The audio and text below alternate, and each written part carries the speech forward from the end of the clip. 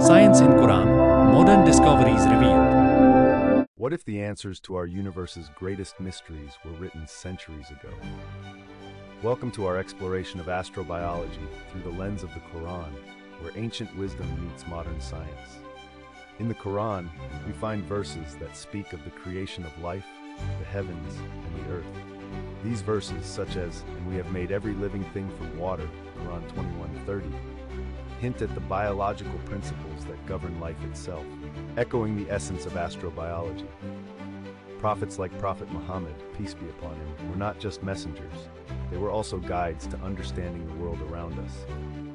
Their insights resonate with the discoveries of modern science, revealing a divine connection to the cosmos.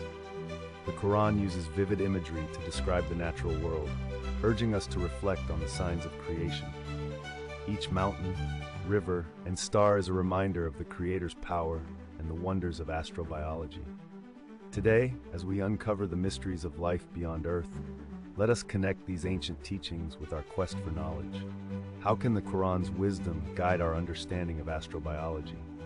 Join us in this journey of discovery. Dive deeper into the Quran and explore how its teachings on science can inspire and enlighten us in our quest for knowledge.